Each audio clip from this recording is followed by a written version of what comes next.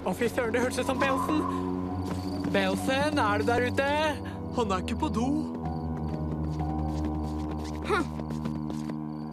Den var ikke der før. Spill meg. Hallo, hvis dere ser dette, er jeg allerede død! Jeg mener, er kanskje. Jeg ble kidnappet av motorsagmorderen. Leken min var altfor mektig, til og med for meg, for jeg er best. Derfor er det opp til dere å redde meg.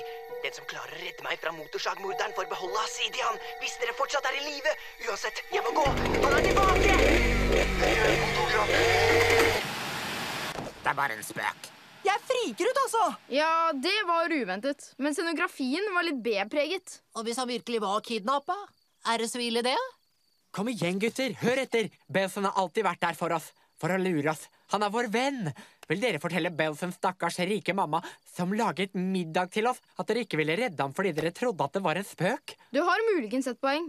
Hva syns du, Sumo? Det er en spøk. Sumo, dette er ikke tiden for anklager. Det vi må gjøre nå, er å jobbe sammen for å redde Belsen. Først over tavlen fjernstyr til byen.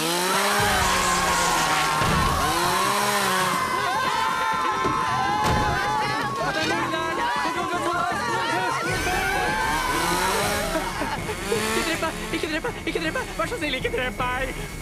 Fort, alle sammen gjennom denne lille døra!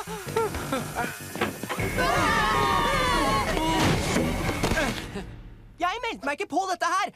Jeg trodde at vi skulle se på film og spise godteri! Jeg er så ferdig med dette! Hva i alle dager var det? Er ikke det åpenbart? Det er hockeymaskemorderen fra den boka til Belsen. Var det ingen som så den videoen? Det er ingen morder. Boken er diktet opp, og videoen er falsk. Morderen er bare Belsen i en maske. Dere har blitt lurt.